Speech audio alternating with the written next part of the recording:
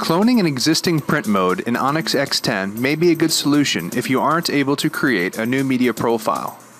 To clone a media profile, begin by selecting the Media Manager. Next, select File and then Preferences. By selecting Direct for the print method, you can bypass the RIP queue and avoid having to change the media type when testing multiple media.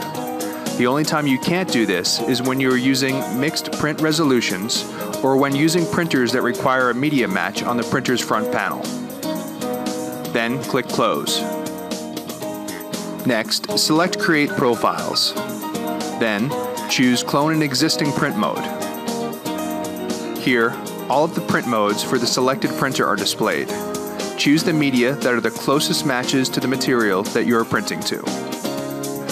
A preview is generated to the right, and the print mode is displayed under each image. Under page size, you can change the roll size.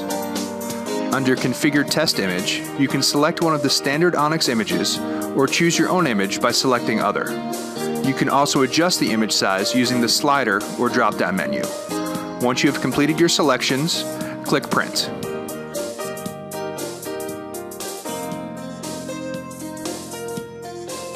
After printing finishes, examine the test prints to determine which one works best. Then, select the media that corresponds to the printed swatch that you would like to clone. Press the right arrow to continue. Next, name the media. Then, press the right arrow again. The new media is now available for use in the RIP queue. If you have any questions about Onyx X10 or selecting the best profile for your media, please contact a LexJet customer specialist at 800 453 9538.